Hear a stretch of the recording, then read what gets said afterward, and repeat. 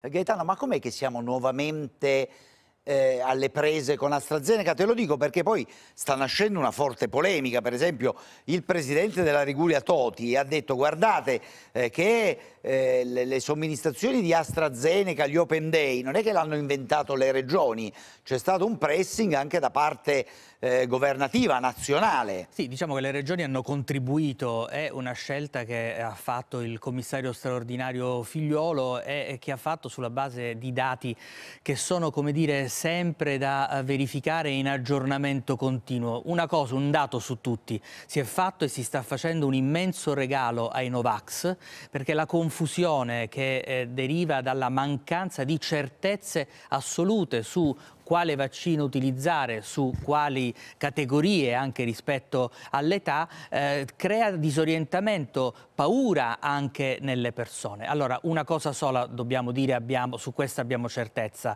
i vaccini sono fondamentali per combattere il, la pandemia e sotto questo punto di vista bisogna affidarsi, ma l'affidamento deve essere fatto a una responsabilità politica e una responsabilità scientifica sì. che deve devono smetterla un po' di rimpallarsi la mancanza di chiarezza sugli effetti che eh, possono avere eh, anche i vaccini e dire una volta per tutte quale vaccino fare a quale fasce d'età e eh, da quel punto di vista poi dare certezza alle persone. Vediamo allora se oggi finalmente arriverà io devo dire, se arriveranno parole chiare, devono essere parole chiare, non devono essere raccomandazioni. Assolutamente. Ci vuole una linea molto chiara. Allora, facciamo così.